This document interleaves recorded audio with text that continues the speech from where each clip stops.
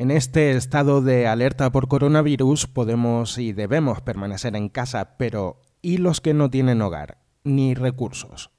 Aprovechamos ese contacto directo y diario con las personas que atendemos para poder trabajar con ellas de manera integral. Por lo que me encargo de establecer un programa personalizado de intervención para conocer a fondo su situación y poder informarles, orientarles, derivarles a otros recursos de la zona y prestarles apoyo en todos aquellos aspectos que necesiten para su integración social y laboral.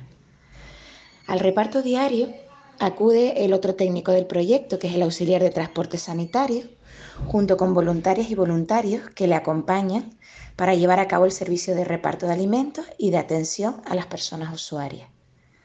Con la pandemia del coronavirus y la declaración por parte del Gobierno del Estado de, alarma, se ha valorado la continuidad del servicio durante este periodo de, 14 días que, dura eh, la cuarentena. La decisión ha sido la de seguir prestando la ayuda porque el colectivo al que atendemos se encuentra en una situación de extrema vulnerabilidad y es un colectivo de riesgo por sus condiciones de base. En el proyecto atendemos a personas de avanzada edad, algunas con patologías crónicas, personas jóvenes también pero que presentan problemas de consumo y patologías asociadas y personas que en general viven en un estado de alerta constante porque carecen de un hogar.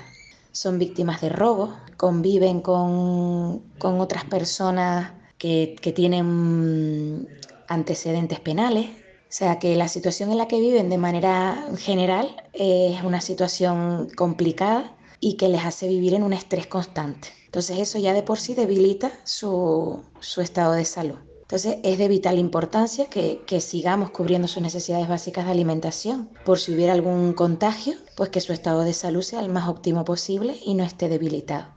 La empatía, la solidaridad y la generosidad son las mejores armas para acabar con el COVID-19. Quédate en casa.